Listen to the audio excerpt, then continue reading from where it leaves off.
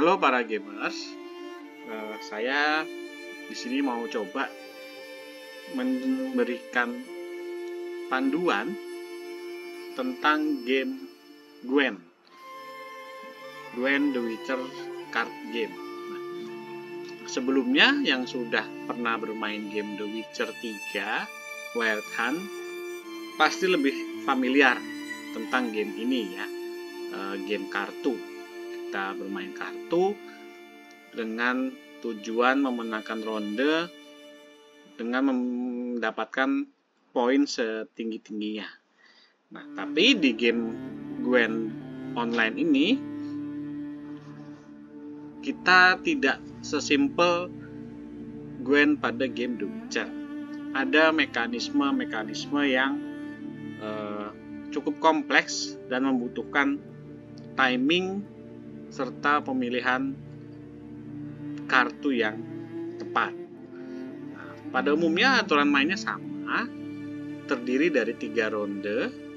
Kita harus memenangkan dua dari tiga ronde tersebut untuk memenangkan pertandingan.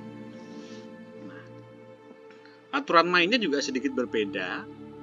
Kalau pada game ini, maksimal jumlah kartu yang bisa kita pegang di tangan adalah berjumlah 10 setiap pergantian ronde kita menarik tiga kartu dan memiliki kesempatan dua kali untuk mengambil kartu ulang. Ditukar kartu yang di tangan ditukar.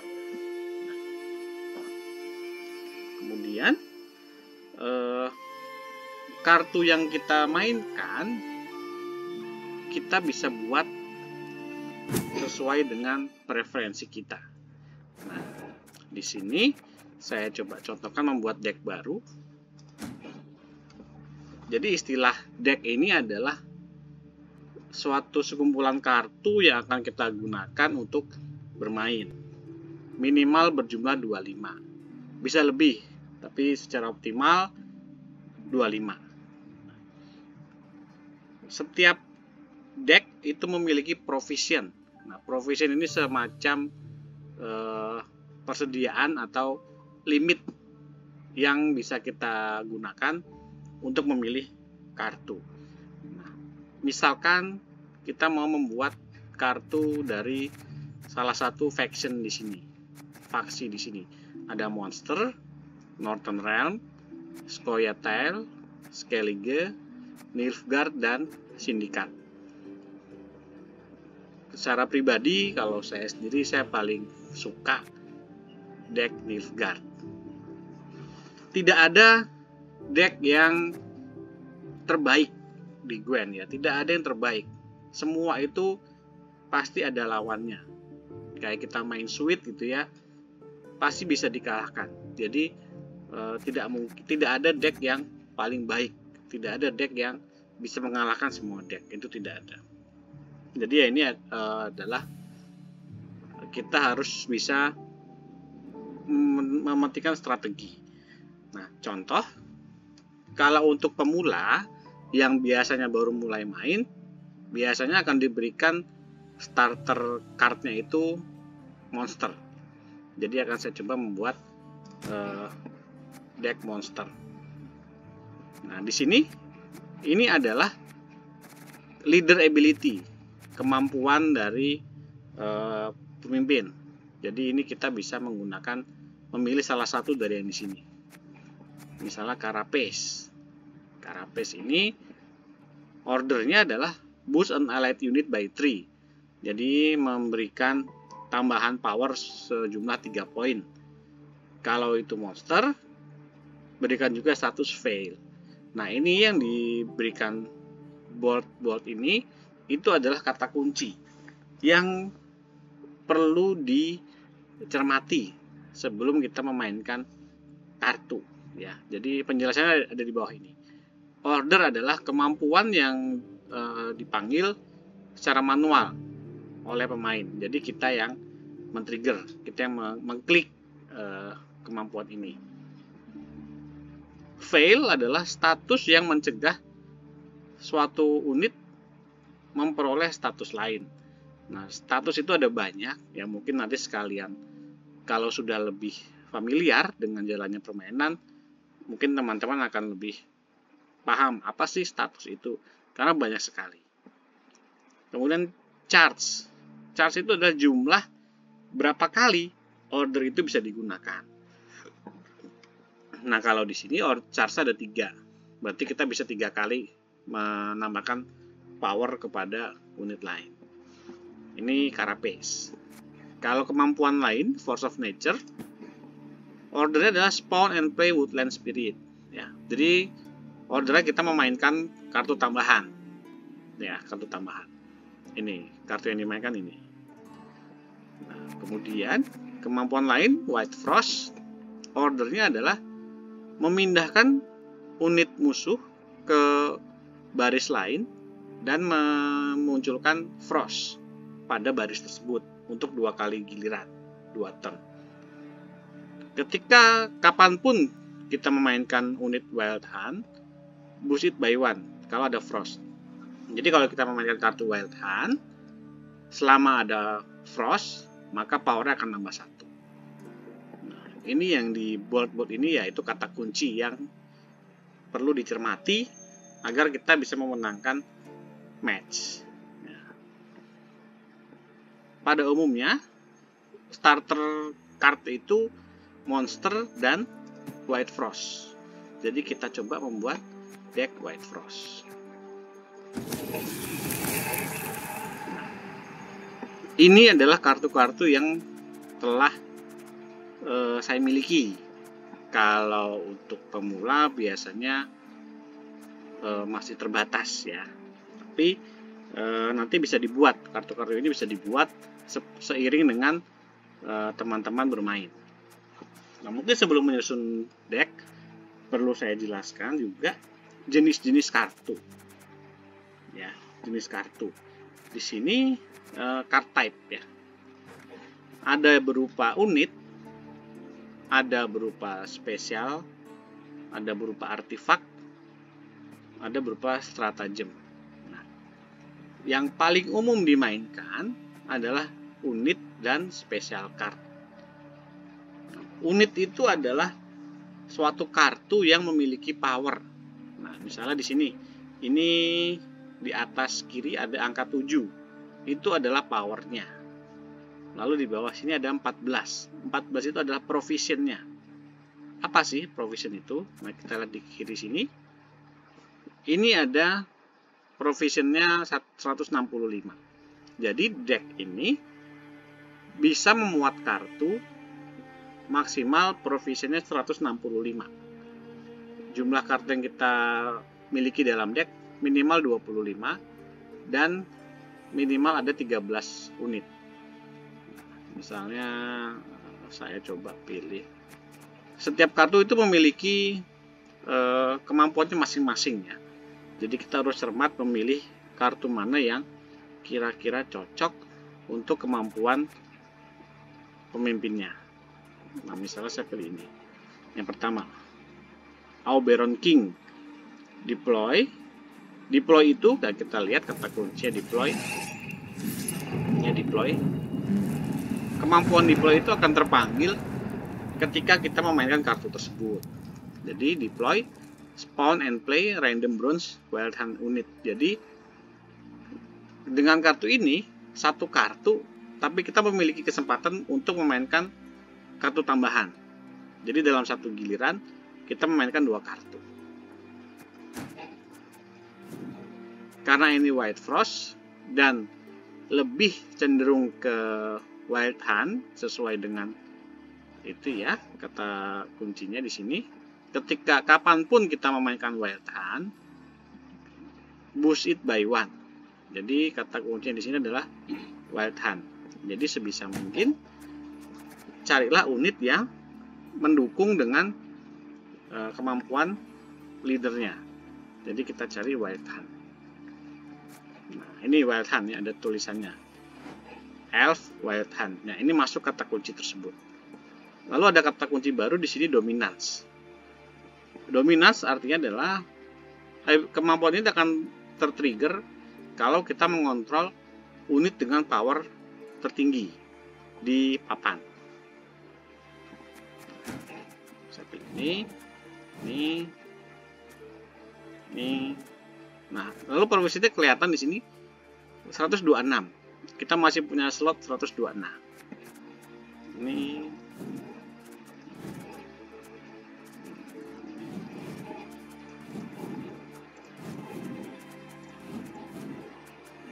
Oke, mungkin tambahannya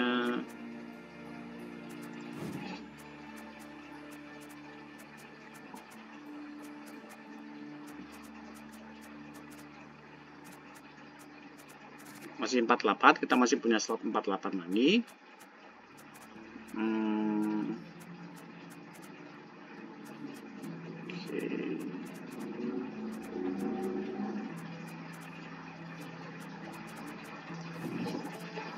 unitnya sudah 14 kita sudah 14 unit. Berarti boleh menggunakan kartu spesial ataupun artefak sebisa mungkin kita pilih kartu yang sesuai dengan leader ability-nya. Kata kunci di sini adalah Frost ataupun Wild Hunt. Uh, tadi Wild Hunt sudah dipilih semua. Yang belum adalah Frostnya mungkin ya. Kita buat tambahan lain, kita cari Frost.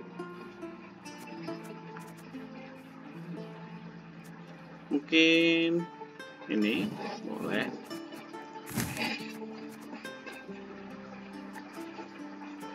Kita cari lagi wild hunt. Ini nah kemampuannya kita lihat di sini. Oh ini.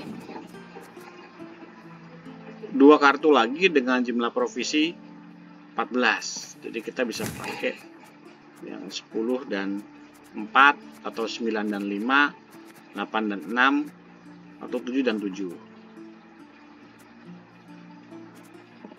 hmm.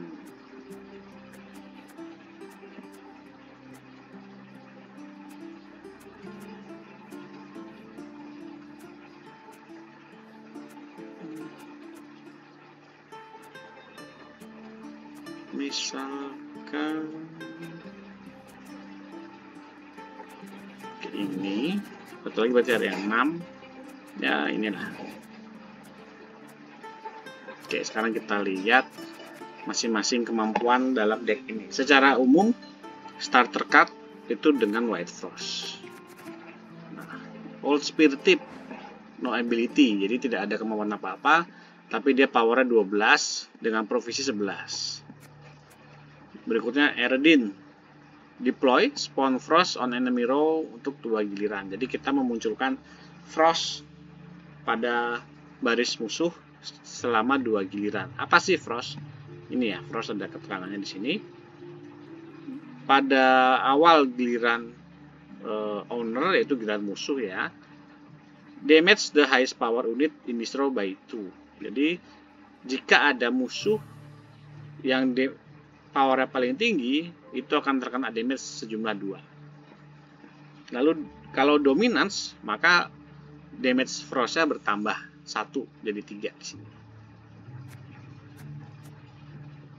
Nagelfar kemampuannya adalah kita ngelihat dua kartu gold random dalam deck kita lalu mainkan salah satunya dan taruh satu lagi di paling atas. Lalu ini Imlerits Rat. Damage enemy unit sejumlah power dari unit kita yang paling tinggi. Kalau kita memiliki Imlerit, hancurkan. Tapi kalau kita nggak punya, ya damage sejumlah power unit yang kita miliki. Kemudian ada Art Guide Eko. Nah, Eko ini jadi kita bisa memainkan kartu ini dua kali dalam satu ronde. Eh dalam dua ronde yang berbeda. Kemudian Spawn Frost pada dua baris musuh selama tiga kali giliran. Kemudian ada Nitral, Order, di row melee, damage a unit by one. Kalau kita memiliki dominance, damage-nya 2 cooldown-nya 1 jadi kita ada cooldown 1 nggak bisa terus-terusan. Lalu ada winter queen. Devotion itu thrive. Nanti kata kunci baru kita di kanan. Devotion adalah maksudnya ability ini akan terpanggil kalau deck kita tidak memiliki kartu netral. Tadi dalam deck sudah saya susun tidak ada kartu netral. Semuanya monster. Dari mana itu taunya? Dari sini merahnya ini. Merah itu monster. Ya eh, background merahnya ini. Atau kita bisa pilih di sini faction pilih eh, monster. Jadi kita sudah pasti tahu kalau ini devotion. Jadi tidak ada kartu netral yang terpilih di sini. Selanjutnya kartu Toad Prince ya deploy kalau di raw melee consume a unit dengan power 4 atau kurang. Nah consume ini kata kunci baru lagi hancurkan suatu unit dan boost self by its power. Jadi kalau e, kita memainkan kartu ini musuh yang powernya 4 hancur dan kartu ini powernya bertambah sejumlah power yang tadi dihancurkan. Lalu ada lagi GLs, deploy range. Kalau kita taruh kartu ini di baris range, maka mainkan kartu Wild Hunt spesial dari deck kita. Jadi ada kartu yang seharusnya kita pegang ada kartu yang memang seharusnya ada di deck, tidak kita pegang karena bisa kita akses dengan kartu tertentu. Itu akan memberikan keuntungan eh, bagi kita. Nanti untuk ronde selanjutnya, maka peluang kita memperoleh kartu yang lebih yang bagus akan lebih besar. Kemudian The Apiarian Phantom. Nah, Fail Zil order melee serang unit sejumlah 3 powernya. Kalau kita nggak pakai ordernya, maka boost self by one. Jadi selama kita tidak menggunakan order, powernya akan nambah setiap giliran. 5, 6, dan seterusnya. Jadi sebaiknya kartu ini digunakan ordernya kalau kita sudah mau mengakhiri ronde atau kartu kita sudah habis untuk memaksimalkan value dari kartu ini. Kemudian kartu berikutnya ada parasit. Serang enemy unit by 6, by 6. Jadi kita menyerang enemy unit sejumlah 6 power atau kita menambahkan power unit kita sejumlah 6. Kemudian kartu berikutnya Old Spear Tip Sleep. Setelah tiga giliran, panggil kartu Old Spear Tip dari deck kita ke baris ini dan tingkatkan base powernya sejumlah 6. Nah, jadi kartu ini, Old Spear Tip ini sebaiknya harus berada di deck, tidak di tangan. Karena nanti akan terpanggil setelah tiga giliran kalau kita memainkan kartu ini, Old Spear Tip Asleep. Kemudian kartu berikutnya ada Red Riders pilih satu. Mau memunculkan frost sebanyak 4, gilir, 4 giliran tapi dalam satu row atau pada dua baris tapi hanya dua giliran. Lalu White Hand Bruiser deploy pindahkan enemy unit ke, ke baris lain. Kalau dipindahkannya ada frost maka serang sejumlah dua Wild Hunt Rider kalau kita memiliki unit yang dominans nanti kopinya kopi kartu ini akan terpanggil juga yang dari deck. Jadi kita sebaiknya hanya memegang satu ini saja satu kartu saja sisanya ada di deck. Jangan dua-duanya kita akan rugi. Lalu Nagelfar Screw deploy munculkan Frost sebanyak dua gira kalau ada frost di uh, row baris yang berkebalikan maka power nambah satu satu satu. Setiap giliran. Lalu INL Conqueror powernya 7 nah ini kita gunakan untuk ya misalnya bermain ronde pendek ya jadi buat gede-gedean angka. Deploy destroy self makanya kita harus devotion agar tidak dia tidak hancur. Kemudian kartu terakhir Wild Hunt Hound. Kalau kita memiliki kartu yang dominans maka dia akan menambahkan power satu setiap akhir giliran. Nah, itu kartu yang kita gunakan untuk coba bermain bagi pemula ya. Kemudian uh, sebelum mulai bermain ada baiknya juga kita memahami ada istilah blue coin dan red coin. Jadi seperti kita bermain kartu lain ya ada yang jalan duluan ada yang jalan belakangan. Kalau kita jalan duluan itu namanya kita dapat blue coin. Kalau kita jalan belakangan, itu namanya kita memperoleh red coin. Nah, setiap koin yang kita peroleh itu ada keuntungan dan kekurangannya. Jadi tidak melulu yang jalan duluan itu menang, tidak juga yang jalan duluan, yang jalan belakangan kalah terus. Enggak, semua itu ada strateginya. Kalau kita jalan duluan, kita dapat blue coin. Ada tuntutan tidak eh, terlihat ya. Ada tuntutan kita harus memenangkan ronde pertama. Kenapa? Karena kita jalan duluan. Kita jalan duluan, kita punya keuntungan yaitu kita bisa memainkan kartu tambahan di awal. Itu namanya stratagem. Nah, stratagem itu bermacam-macam. Nah, ini stratagem. Yang pertama,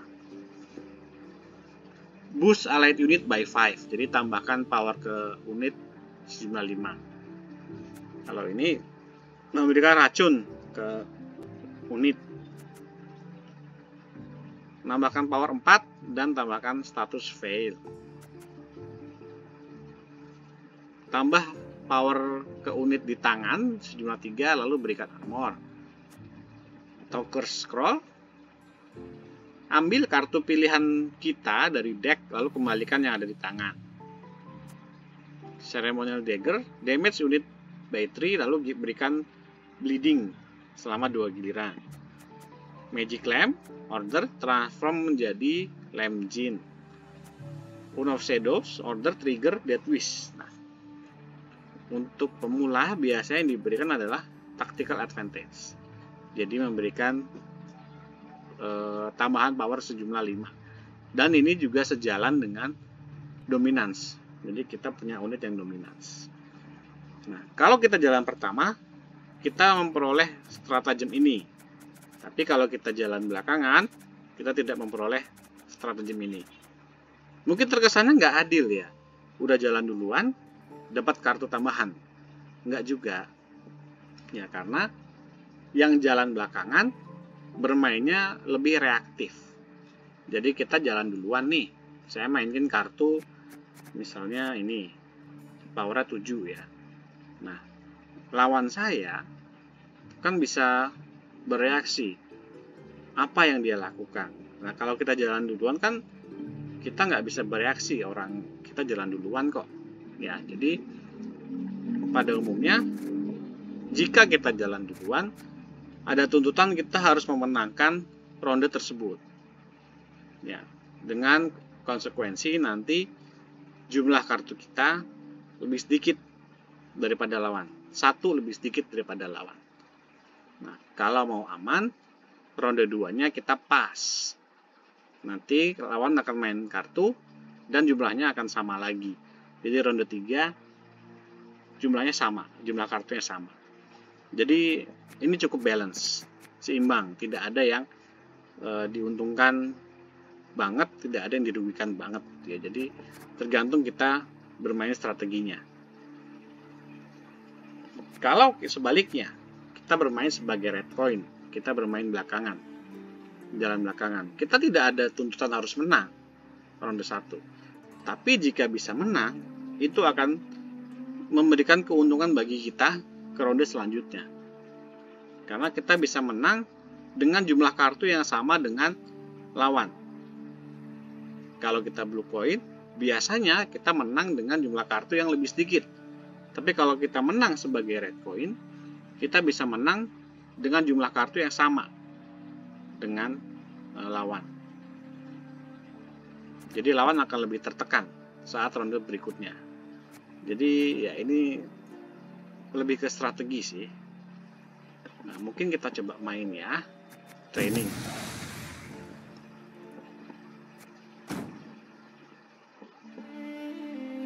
Play. Uh, training. Ya, mungkin sama AI dulu.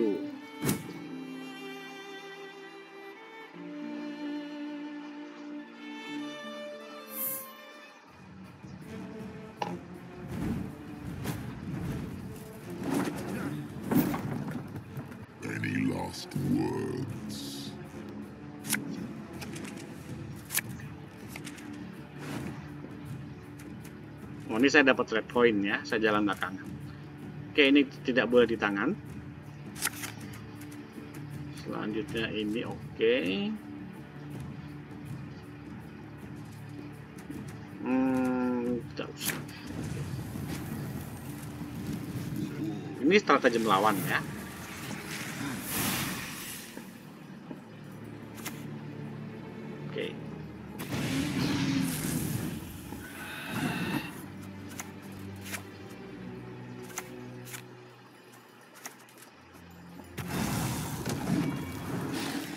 Saya mainkan ini saya tidak pakai order maka dia power akan nambah setiap akhir giliran.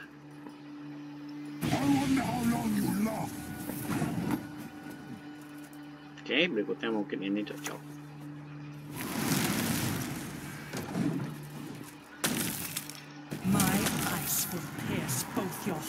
Ini akan terpanggil keluar kalau ada dua frost di setiap baris musuh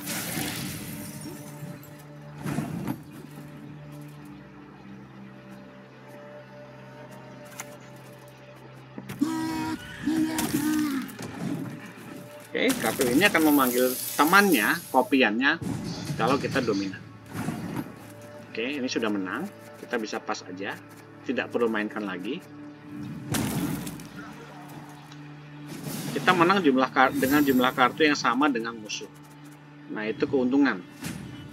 Karena di ronde berikutnya, kita yang mengontrol permainan. Mau nanti ronde tiganya panjang atau pendek.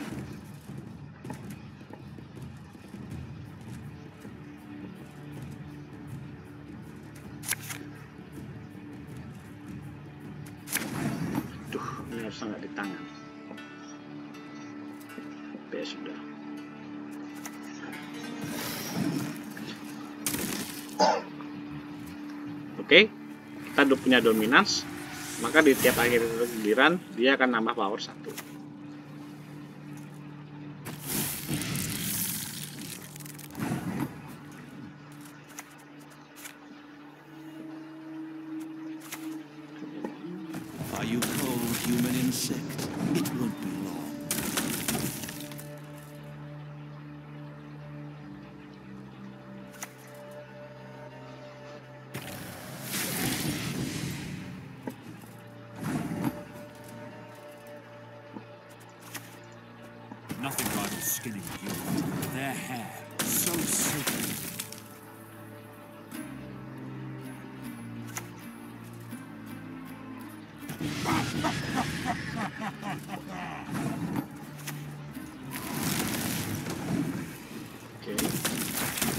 Jadi kita akan coba terus bermain sampai lawan mengeluarkan kartu yang bagus. Jadi saat ronde terakhir lawan hanya memiliki kartu yang tidak optimal.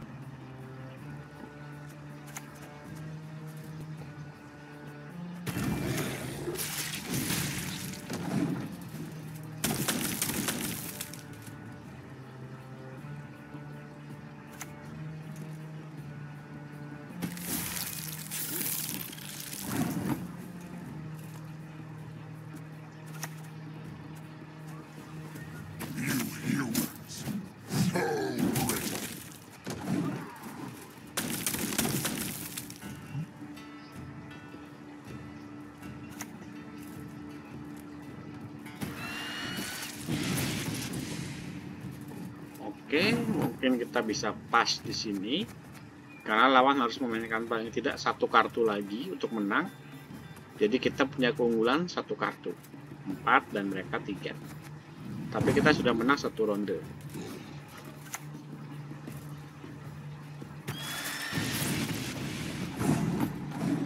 Oke, sekarang mereka punya tiga. Saya punya empat.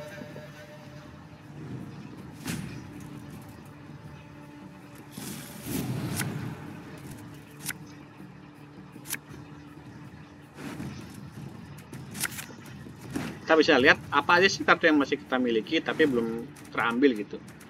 Nah ini kartu-kartu yang sebenarnya kartu inti ya tapi tidak ketarik ke tangan gitu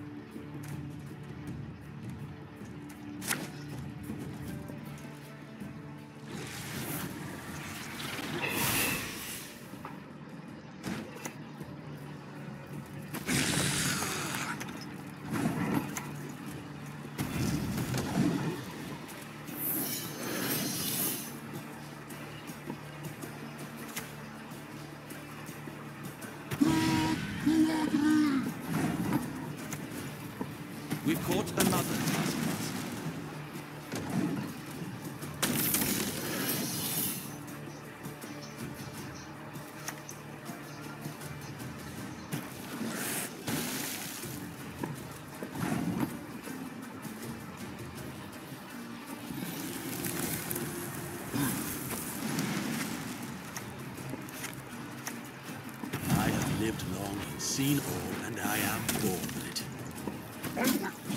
it.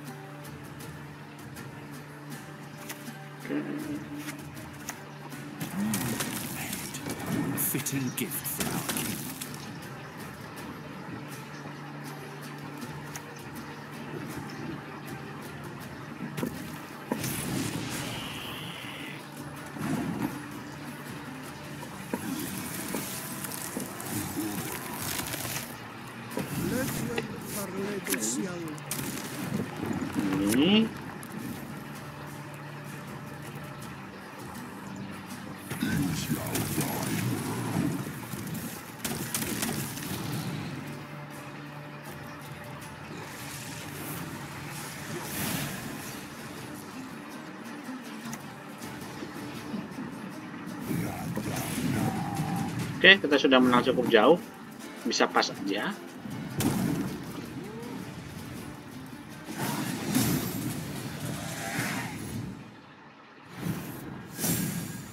Nah, jadi kira-kira seperti itulah eh, cara bermain Gwen ya. Ya mungkin ini AI-nya terlalu mudah, tapi kalau kita lawan orang tidak semudah itu.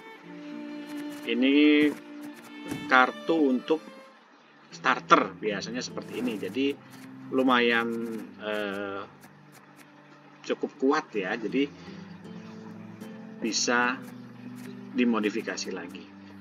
Mungkin sekian dari saya. Terima kasih sudah menonton. Jangan lupa like ya. Terima kasih.